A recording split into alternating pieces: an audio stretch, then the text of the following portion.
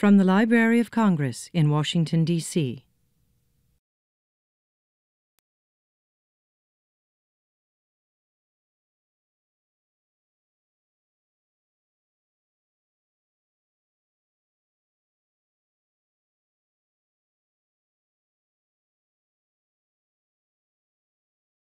Good afternoon. I'm Paul Fraunfelter with the Music Division, and I call this presentation World War I Sheet Music at the Library of Congress America's War as Viewed by Publishers and the Public. So, 100 years ago today, Congress was across the street debating President Wilson's war resolution. And very soon, songs like the hit, I Didn't Raise My Boy to Be a Soldier, and the neutrality rag would no longer be in the national interest. Uh, during the period of neutrality, anger at Germany and sympathy towards France and Britain had steadily increased. Yet when the war declaration came, uh, there was little public interest or enthusiasm to actively join in what was then called the European War. In order to gain support for the war effort and help spread the national message, President Wilson established the Committee on Public Information.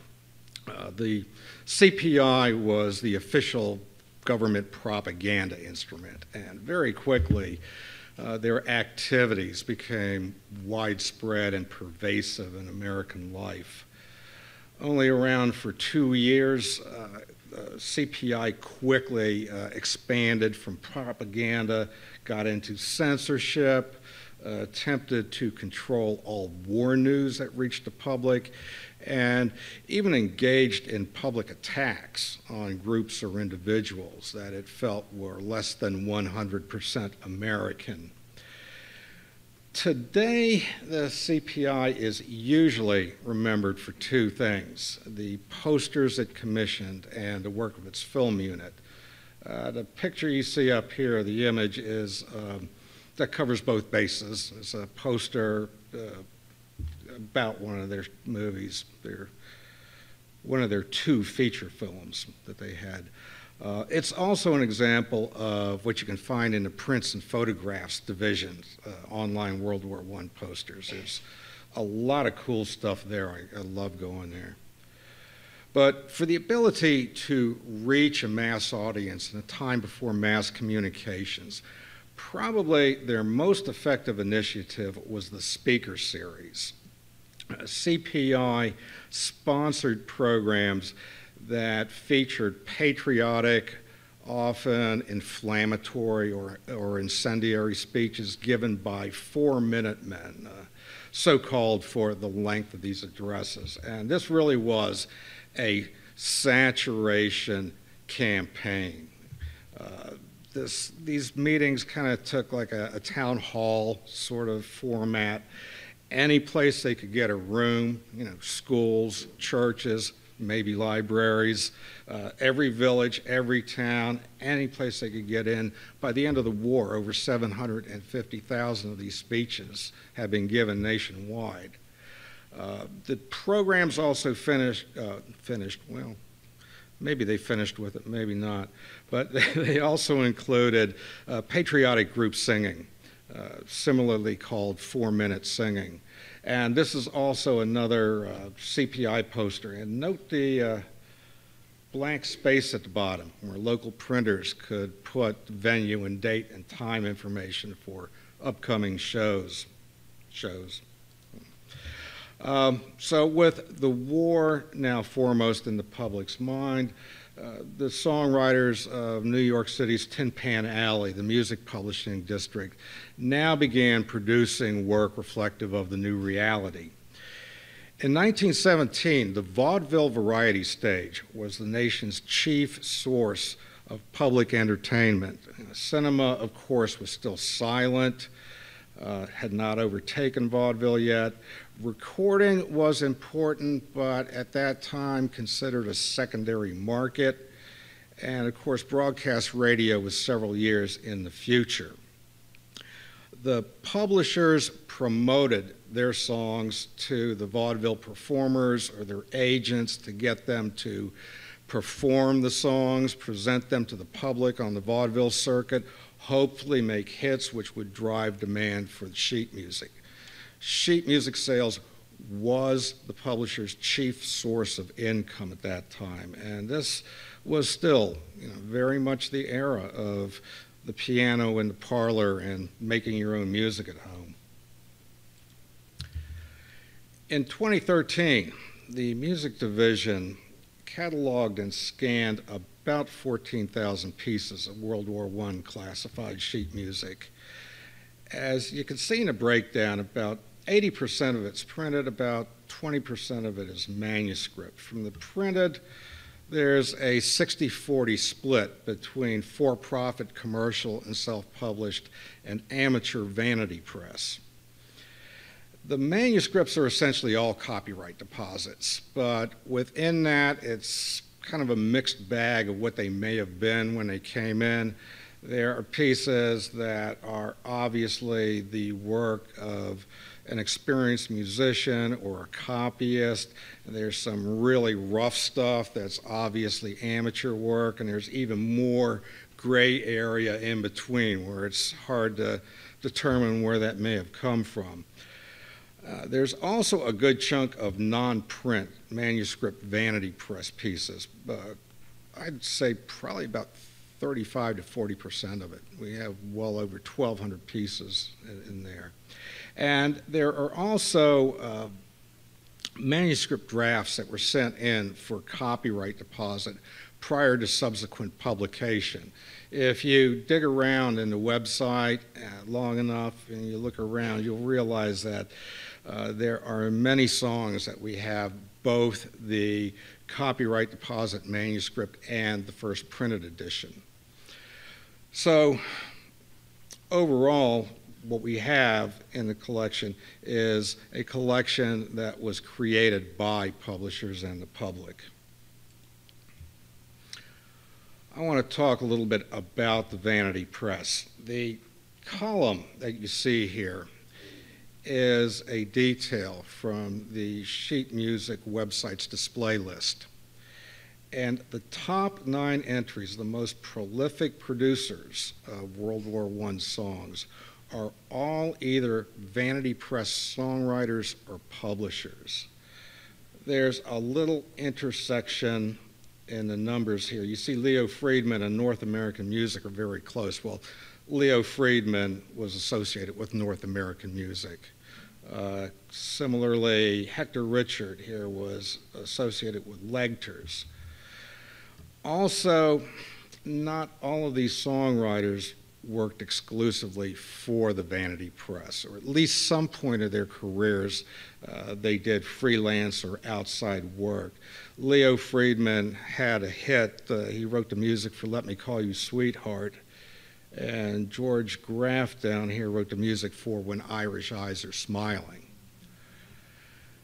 The basic agreement was that someone with a poem, usually an original poem, that they wanted set to music, to make a song of, would contact a vanity press and pay them to have their songwriter or pulper, as they were known, to set the song to music, and the vanity press would take care of copyright deposit. Beyond that, there are two different business models found in the collection. The first is that the client would then choose from a selection of standard cover illustrations. Here you see four. There are about 16 in the collection that you see over and over again with uh, just the title and the names changed. The agreed upon issue would then be printed out on cheap stock in a standard piano vocal arrangement uh, two verses and a chorus is what the client usually got. Uh, then the whole thing was delivered to the client to distribute or market if they wish, how, however they wanted to do that. The other model, uh, according to the account of someone who had worked for one of these people as a copyist during the Depression, was that The vanity press sold the client on the dream of fame and fortune by promising to promote their song to a large commercial publishing house, you know, hopefully get it on the vaudeville circuit and become a hit and fame and fortune. This is a piece by Raymond Brown, and he was the most prolific pulper in uh, this business model. We have over 740 of his pieces.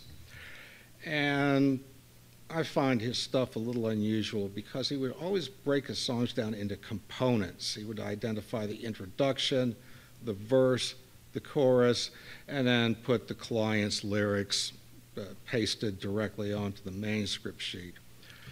Notice that it is just the melody. There's no harmonization, there's no arrangement. Uh, this is also uh, kind of uncharacteristic for one of Brown's pieces because of its length. He's got a 24 bar verse and a 16 bar chorus. Some of his pieces in there are as simple as a four bar intro, an eight bar verse, and an eight bar chorus. Uh, other pulpers that worked in this business, uh, in this business model delivered something that looked a lot like Brown's, but they would write the verse chorus sequence out in something that closely resembles a modern lead sheet. The finished product was three copies. The client, of course, would get one. The Vanity Press would keep one, supposedly to show to publishers, and the Library of Congress got the third. And the uh, copyist I mentioned before said, in her time with the Vanity Press, she had seen her boss attempt to sell one piece of music to a publishing house. So now let's get to the meat and potatoes of the uh, collection and uh, look at some of the recurring themes and subjects. Why were we at war? Well, there were a whole lot of contributing factors, but of course, the straw that broke the camel's back was Germany's declaration of unrestricted submarine warfare. The U boat songs in the collection typically do not depict U boats as menaces or high seas killers, but uh, more like nuisances, which we'll quickly dispense of, will sweep them from the seas. And in many of these songs, there is a demeaning, superior attitude shown towards the enemy. And that attitude, that's why I put this first, carries over throughout the collection. President Wilson's famous declaration, the world must be made safe for democracy, actually got him some heat in Congress for uh, inserting ideology into the war resolution but it resounded with the public. There are songs about democracy, the defense of democracy, the triumph of democracy, and the doom of the militaristic German autocracy. And I said this resounded with the public as the majority of these kinds of songs all come from the Vanity Press and the manuscript deposits. The enemy was often characterized or embodied in Kaiser Wilhelm. Uh, he's shown as the chief provocateur and villain of the war. Old Satan Gets the Hun is a very typical cover treatment of Wilhelm. Um, he's shown several times with the devil or with other demons, but he can be chased by goats. He can be tomahawked by a gigantic American Indian. He can be thrown in a prison van by a laughing John Bull and Uncle Sam, and those variations go on. The Bleeding Belgium campaign was an appeal of sympathy that brought Britain its first wave of volunteers in 1914. And though there are a few Belgium songs in the collection prior to 1917, The amount of songs about German atrocities in Belgium that appear in 1917 suggests that when we entered the war, we too took up the Bleeding Belgium campaign. If there's one thing the common person, just about everybody knows about World War I in America, is that the invocation of the great Revolutionary War hero, the Marquis de Lafayette, was a powerful, popular, emotional appeal at that time. And there are indeed songs uh, reminding the listener that it was now Lafayette's homeland that was facing its dark hour, and we had an old debt to repay.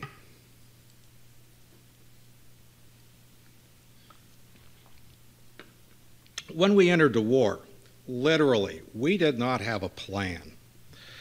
Uh, certainly, we knew that our money and our Navy would be involved, but as to if we were going to commit troops and what level of that commitment would be was still unknown. And certainly, no one in Washington here in April 1917 thought we were going to send troops to Europe and rescue the Allies.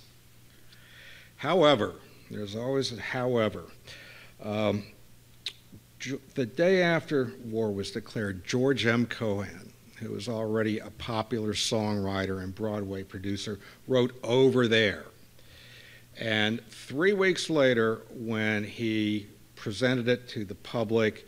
It was an instant hit and was one of the driving forces of creating the idea of the Grand Crusade.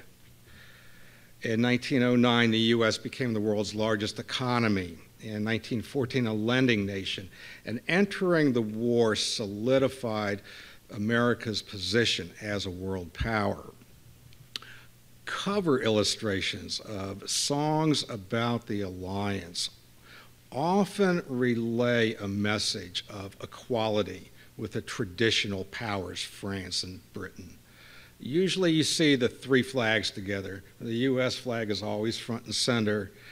Sometimes you'll see Pershing and his counterparts, or even Wilson and his counterparts.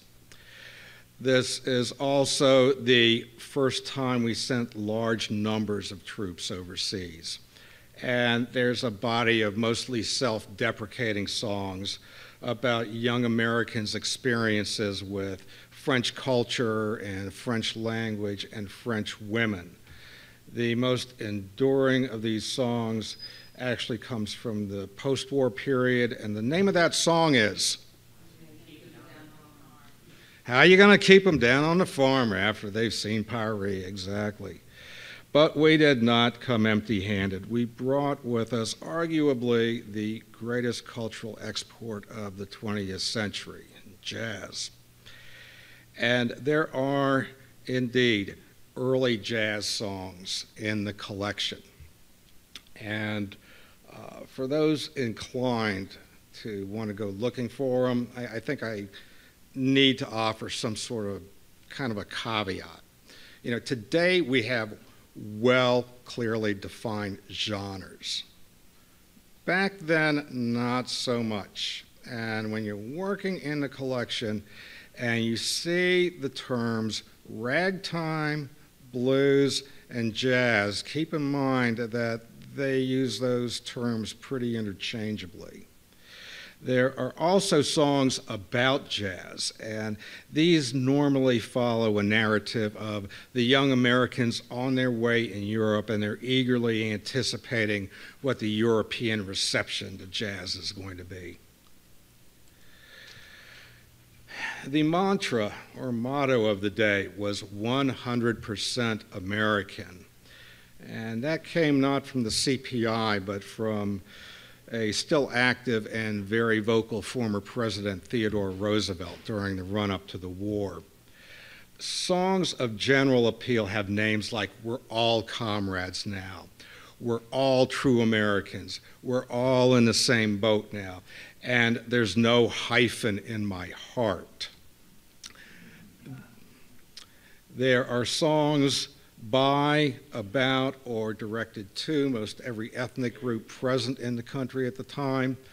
but the numbers uh, favor three groups in particular. For African Americans, this was a time of flux and change. The Great Migration from the rural South to the industrial North was underway. Uh, the NAACP had been founded, and the modern civil rights movement is rooted in this time. African American songwriters were active in Tin Pan Alley. African Americans, of course, were the driving force in jazz. African Americans now had influence in mainstream American culture. Irish Americans then as now were one of the two largest ethnic groups present in the country. And historically, their participation in the American military has been critical. But at that time, there was unrest in Ireland and a degree of anti British sentiment in the Irish American communities here that had to be addressed. Italian Americans were the newcomers. Between 1880 and 1920, about 4 million Italians immigrated to the U.S., uh, most in the decade before the war. And the songs of serious or earnest appeal to Italian Americans differ in that most are not calls for volunteers, but rather songs in support of the European Italian allies. And what of my people, the other of the two largest ethnic groups? Well, you'll find a lot of German names in the collection. They're all songwriters and publishers. I found two songs, manuscript deposits about patriotic German Americans. We must remember that ethnic comedy was a staple component of the vaudeville stage. And for every one heartfelt, earnest appeal made to any particular ethnic group, there are multiple songs directed to that same ethnic group that mock appearance, accents, and customs. Ironically, even the stereotype stuff is couched in terms to serve unity and the war effort. The Civil War had been over for a scant 50 years, and the grandsons of the Confederacy were expected to fight and die for the federal government. You know, appeals had to be made to the still disenfranchised South. There are Civil War reunion songs, Boys of the Blue and the Gray, Sons of the Blue and the Gray. Uh, Dixieland and Yankee Doodle Land are one and the same today. Uh, there are also songs about or directed to the South. All you really need to do is get to the, the site and in the search box type in the word Dixie and see what you get. Unsurprisingly, the bulk of the collection though, is given to the traditional wartime topics uh, patriotism, home and hearth, and women. The patriotic stuff is pretty much what you would expect my homeland, my nation, my flag, my president. But there are some topics in there that are historically important or has a I'll keep it at that. Uh, Uncle Sam, the uh, characterization or the personification of the U.S. government, had been around since the early 19th century, but his appearances were sporadic, his physical appearance could change, his name could be different. It was not until here in World War I that the tall, goateed man in a red, white, and blue suit became universal. And if this collection has a star, it's Uncle Sam. And titles, cover illustrations, song content, lyrics, he's everywhere. The use of the service flag is a tradition that began in World War I and continues to this day. When a family member in the military is deployed, the family is issued a small flag or banner bearing a blue star for that service member. Here you see one in this window here. Particularly during World War II, it was not uncommon to see flags with two, three, four stars for however many of that household were serving. Uh, if the member is killed in action, the blue star is replaced by a gold star. And there's songs about service flags, blue stars, gold stars, and when the blue star turns to gold. And these songs seem to be evenly divided between the commercial and the amateur songwriters. At that time, the traditional roles of women still prevailed. We have wives, we have patient, sympathetic sweethearts, and first and foremost, centrally, and most important, there are mothers. Uh, in cover illustrations, uh, it's not unusual to find female archetypes. You know, often, uh, with the long clarion horn or the sword, rallying the boys, calling to the boys, leading to the boys. There's Columbia, there's Liberty, there are generic, noble looking women in Greek and Roman dress. And of course, as we were going to France, Joan of Arc makes her appearances. When it comes to women's war work, there's a slight schism between the commercial and the amateur pieces. The commercial pieces are almost solely given to two occupations. The nurse, in particular the Red Cross nurse, as opposed to the military nurses, and the Salvation Army girls who dispense coffee and donuts and cakes near the front. Again, cover illustrations. Sometimes you can see women in other war work carrying hoes or spades or maybe driving a truck or maybe working in a factory, but the songs themselves don't go into any great detail about this work. The amateur songs also skew heavily towards nurses and Salvation Army girls, but here you can find songs about particular women's wartime occupations, like the operations of the Women's Land Army that replaced agricultural workers gone to war and the uh, conductorettes that worked on the railroads. How does the collection's treatment of these themes compare with the CPI's agenda? Overall, content of the commercially published pieces is consistent with the national message of the time. Public reception, uh, if we can judge it from the amateur pieces, was positive, as the vast majority of these things uh, mime what Tin Pan Alley was producing. That's not to say that everything fits into a nice big mainstream package. Uh, outside the larger, better represented themes, there are smaller groups or individual songs which are also reflective of American society at the time. An ethnic group I hadn't mentioned earlier was um, Eastern and Central Europeans who came here in the millions at the same time the Italians came. We can find Polish freedom fighter songs calling for Polish Americans to go back to the homeland and free it from the Russians and the Austrians and the Germans. There are Zionist songs. There are anti Bolshevist songs, some of them calling for intervention in the Russian Revolution.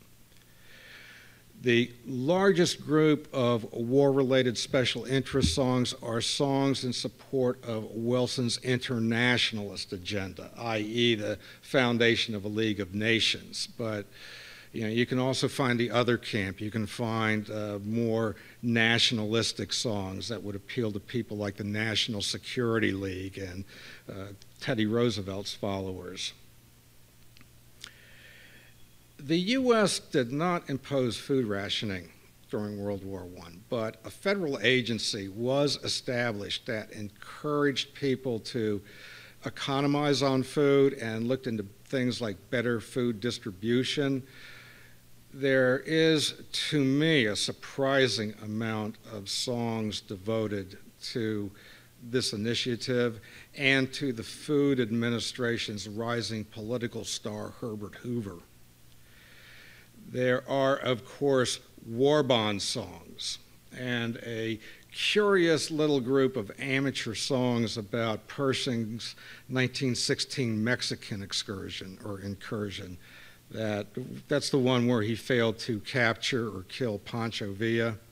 And these songs all promise that Black Jack's coming home and he's going to take care of unfinished business down there.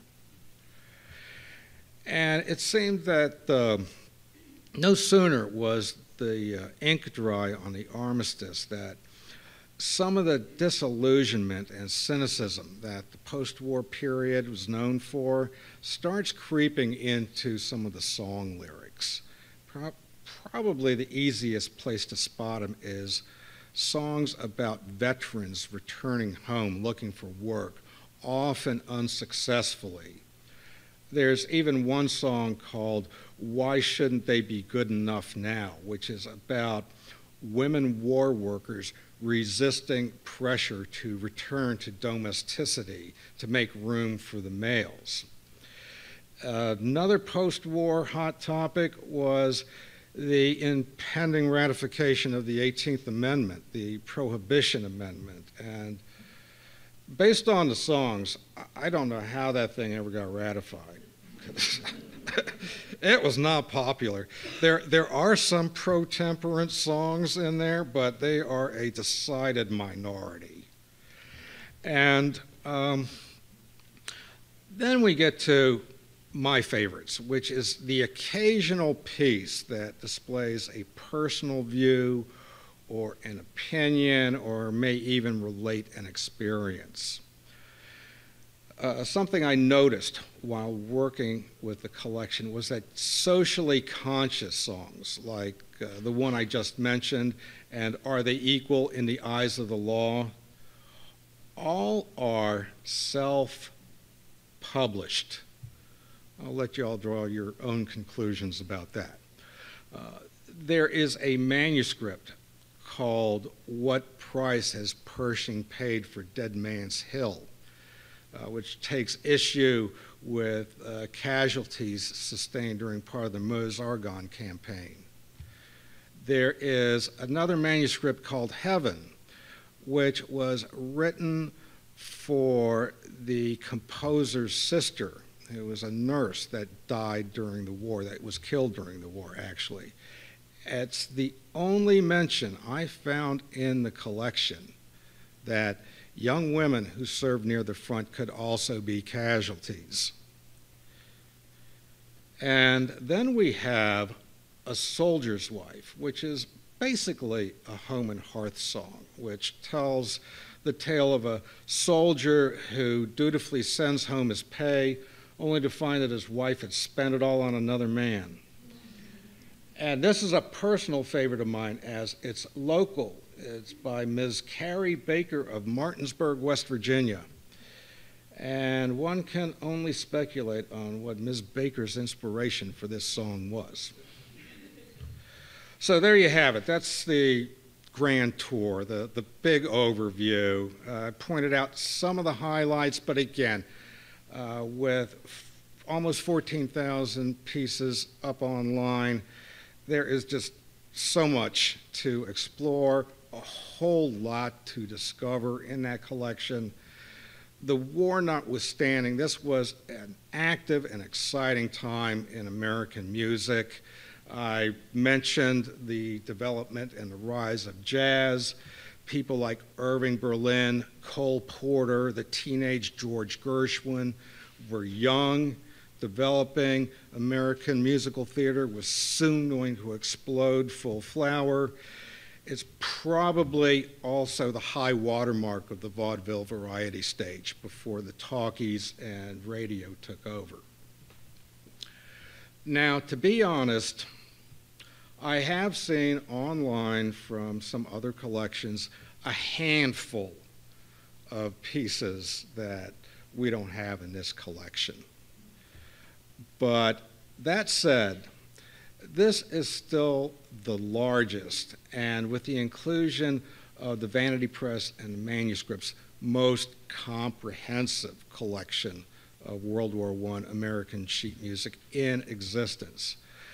Again, with the Vanity Press and manuscript stuff, I'm speculating that 95% of that stuff has to be unique, has to be the only copies left in existence.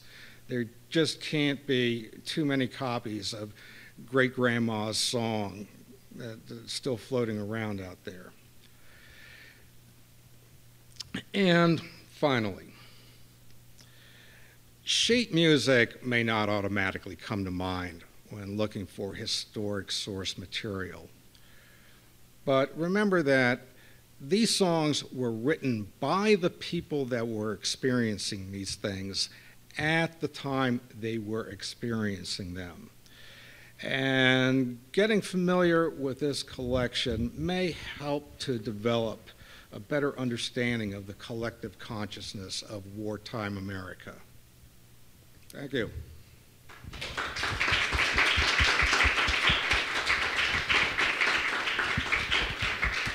And now we're open. David, right over there. If you have questions, please wait for the microphone. So no, there you go. Uh, going back to your point about over there and its uh, huge influence on, on the American attitude, did Cohan have that objective in mind, or was it just dumb luck? Uh, what was there a relationship between the author? Cohan was a known flag waver. I mean, from his previous work, you know, I'm a Yankee Doodle dandy, and he wrote uh, "She's a Grand Old Flag" prior to this. Uh, he was he was patriotic in his musicals from the start. You know, it was a perfect storm sort of situation.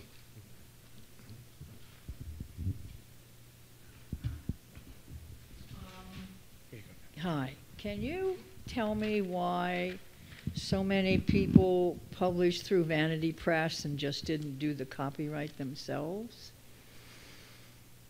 I mean, I'm looking at the titles, and the titles seem to me to be the same as the copyrighted music. Yeah, yeah. A lot of a lot of just a lot of people just send it in, but. Um, well, for the one thing, the, the printed vanity press, which is you know the biggest chunk of it. I mean, your song is printed out. It has a publisher's name on the bottom. It has a patriotic cover on the front. Uh, plus, vanity presses advertised. The Library of Congress didn't. Following up, I'm still a little confused. So, is Vanity Press the only so what you're saying is that there's a group of publishers at the time who will get um, uh, a poetry, set it to music, print it, and then they promise their clients that they will sell it to other publishers. No, no, I'm, no. I'm really were, sorry. Yeah, there there were two different business models. Okay. One would print it and then deliver it to the client and say, "Good luck with that. Have fun." The other would take the client's money, have their pulper, right. put okay. it to music, and then they send them a manuscript copy. Now, granted, the the copy that we saw there was in a copyist's hands, so most of that stuff is very legible. But yeah, the the second model, the the client just got a manuscript copy of their music and the promise of you know, you're going to be famous once I got somebody to put it on vaudeville. And there were a lot of different companies who did that business model, is what you're saying. So the term vanity press really encompasses a number an, of companies. An inclusive term, yeah. Okay, okay, there, that's that was my of, confusion. there were a lot of people that practiced in both business models. I see. Okay, I apologize. I wasn't no problem. totally clear on that. Okay.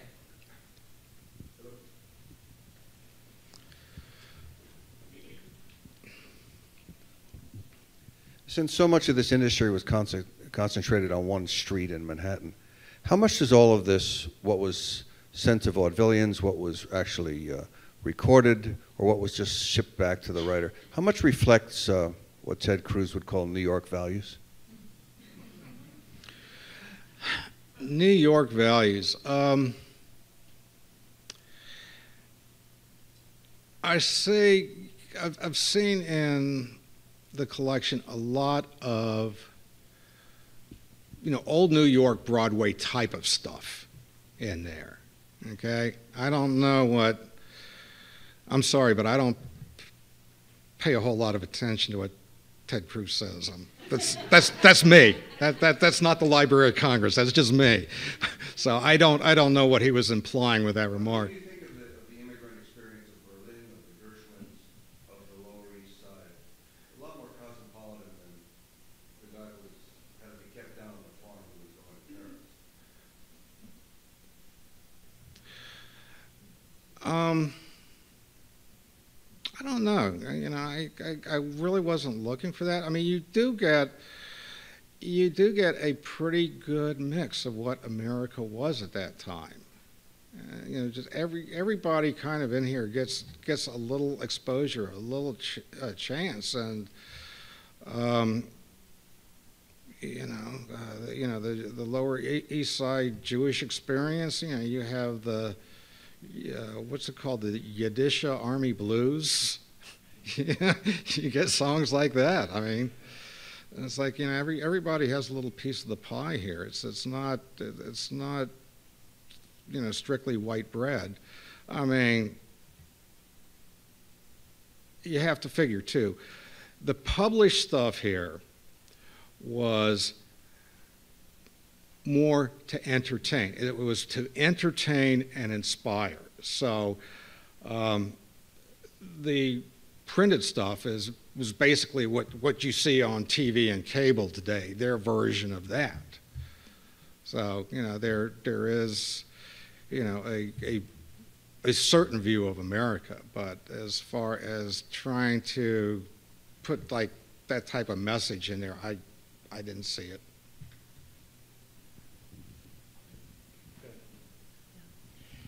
A similar uh, amount of sheet music been generated uh, during the Spanish American War on public sentiments for that? I don't know how many Spanish American War pieces there are, be honest, but no, this is the biggest chunk. Civil War, North and South combined are less than 5,000 pieces.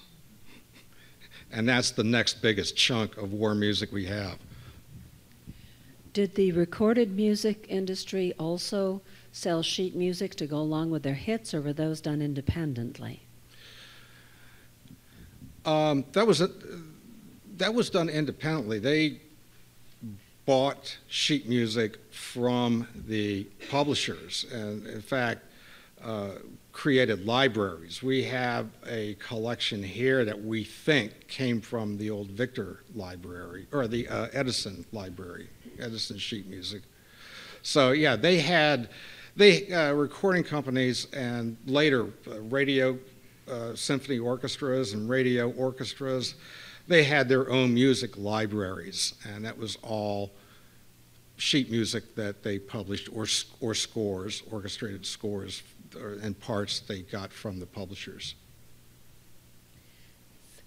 I was wondering, I, I sensed that there might be a, a tension between the, some of the songs that were emphasizing unity.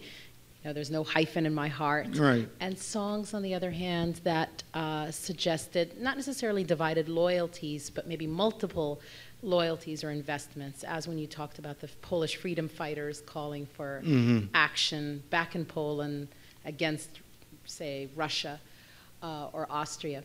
Uh, and so I was curious about that. To what extent do some of the immigrant groups, as well as groups uh, uh, that by then, of course, are deeply rooted in the United States, such as African Americans, to what extent do we see multiple messaging or multiple loyalties expressed in these songs so that people are actually speaking of fights on different fronts? I know I'm the poster boy for the Vanity Press and the manuscript deposits, and there is a lot of bad poetry in there. But that that is really the value that that that, that the amateur stuff uh, serves, because yeah, the as I just said, the published stuff, the mainstream stuff was mainstream. It was you know, general consumption stuff. And you do get into the amateur stuff, and you can, you can see stuff that is, you know, from someone else's point of view. Now, again, most people like pretty much ate it up. The CPI was pretty effective in selling the war to us uh, because the uh, it's pretty consistent during the war of like, yeah, this is my experience, but you know, being a Pole, yeah, I want to go over there and fight, but I want to get the you know, damn Russians out, and, and those Germans want to take over, and I'm, I don't want to let that happen either. You know, but it's like the end of the war where you start seeing what, what we call today dissension. Where, as I said, the, the guy, uh, you know, it's like, yeah, I don't think Pershing should have like you know, march straight into those guns. yes.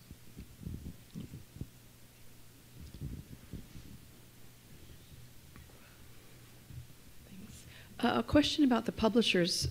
The, the published manuscript sounds like, actually, I mean, I'm speculating, they actually have the pulse on what the country wants because they're publishing things that they think will sell. Um, as far as the, the vanity publishing, where would somebody like Carrie Baker in Martinsburg learn about a vanity press? Where, where were they advertising and how were people from all over the country sending something into New York to get they, back They used to songs? advertise in newspapers and periodicals, you know, have your song set to music. But um, I think it lost, I think it flew away. I'm sorry. Do you have any, I, I know these are copyrights, so these are everything that was submitted. Do you have an idea what, what actually sold? Um, and what sort of numbers are we talking about for the sheet music? Um, no, I don't, but it's easy enough to find out because we have the trade magazines. Just go over to the Performing Arts Reading Room and look it up. And I have friends that will help you do that. yeah, but a, a, lot of a lot of the recognizable hits are in here. You know, uh, of course, over there, uh, Irving Berlin's.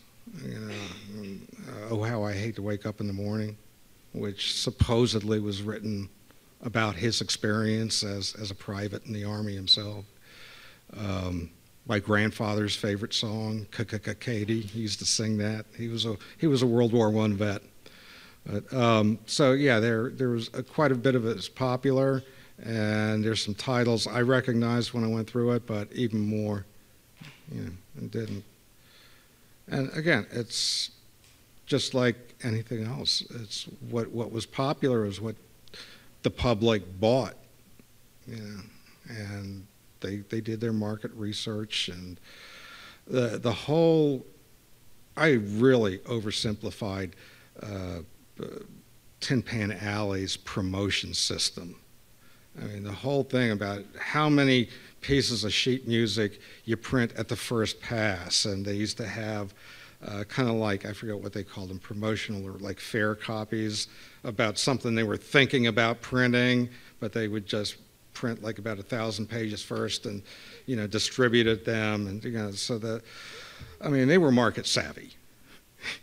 even though it's a hundred years ago, they were market savvy, and you're right. I mean they they had figures and they were keeping track of what kind of stuff was selling. Is there any anti-war music at all?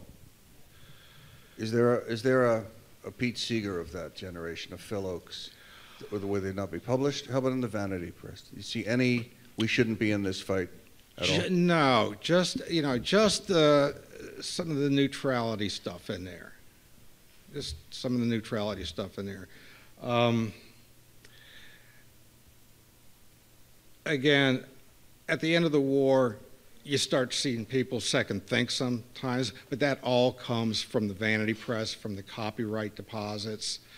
Uh, I've seen nothing in the commercially published pieces. And but then again, uh, like the I pointed out, the potentially controversial songs were all self-published. So the you know, you know, Pete Seeger got a label here. He never would have back then. But uh, also, you know, we have what we have when it comes to the commercial stuff. Uh, apparently, and I don't know the provenance of that collection, but apparently it was put together sometime after the war and it was assembled because there are dates from like the 20s. Uh, there are some stamps like from private collections. I found a Korean War song mixed up with them. So the commercial stuff is we have what we have.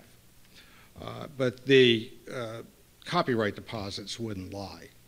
And I don't, I went looking for that and I didn't find it. But then again, I was trying to get 14,000 pieces of music up online. So, you know, eh, go ahead, it's all up there. Do us a service and, and find a, the Pete Seeger of 1917. I think we have time for one more question, if there's.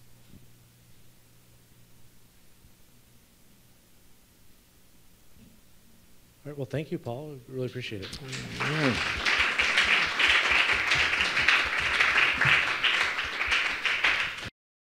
This has been a presentation of the Library of Congress. Visit us at loc.gov.